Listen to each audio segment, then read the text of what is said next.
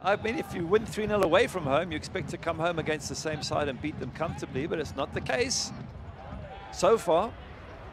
And they scrum something up from this corner kick. Strong's head, there's number one. It was corner number seven in the first half, and Hartford finally have their breakthrough. Good ball in from Pereira. Strong gets up there, nice and brave. Nothing Matty Freese can do.